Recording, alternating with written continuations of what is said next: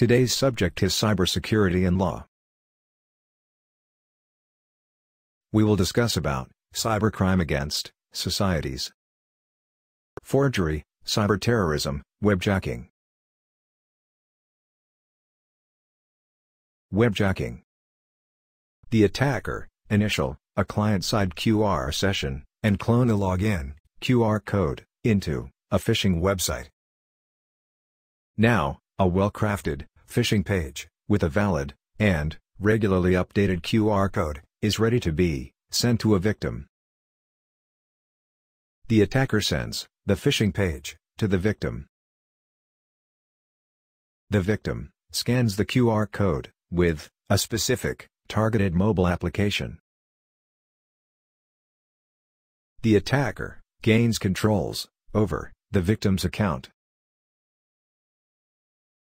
The service is exchanging all the victim's data with the attacker's session.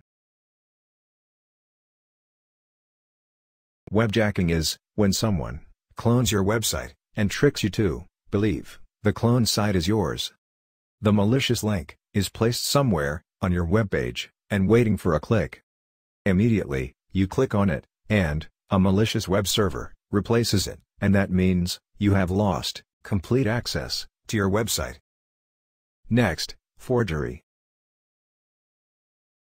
When a culprit alters documents stored in computerized form or electronics form, the crime committed may be forgery.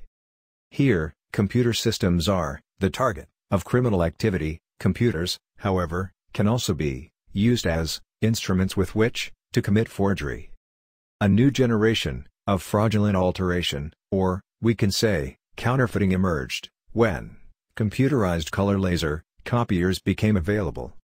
These copiers are capable of high-resolution copying, modification of a documents, and even the creation of false documents without benefit of an original, and they produce documents whose quality is identical from that of authentic documents, except by an expert.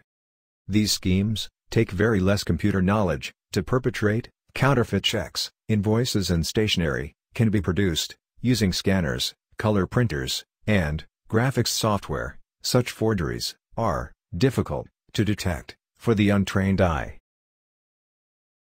Next, cyberterrorism. The cyber threat has expanded in recent years with a series of damaging, high-profile attacks. Cyberterrorism and cybercrime both are criminal acts.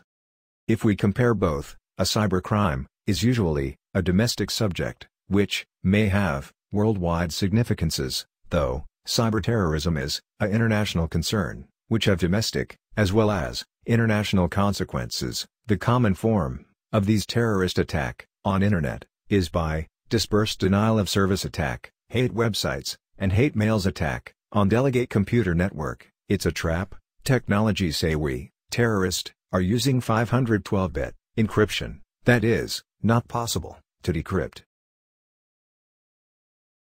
We have covered introduction of all cyber crimes. In next video, we will see viruses, worms, malwares on the internet. Thanks for watching.